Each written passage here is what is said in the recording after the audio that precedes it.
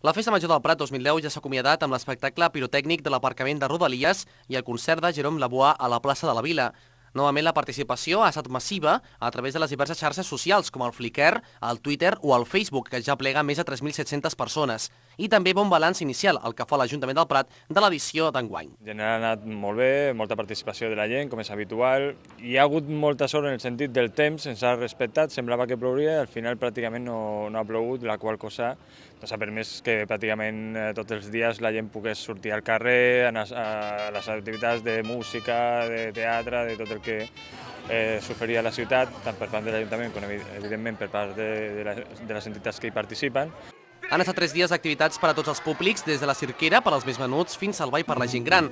Tot això acompanyat dels tradicionals actes de cultura popular, com són els castellers, la trobada gegantera i el partifoc.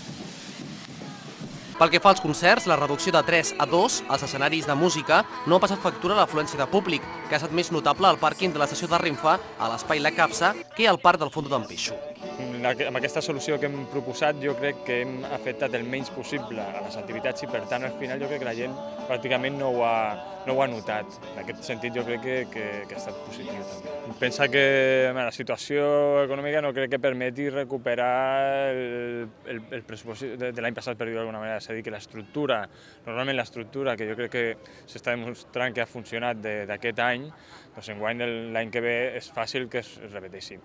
Aquest balanç es tancarà en els propers dies amb l'enquesta d'opinió ciutadana feta a la plana web Consensus.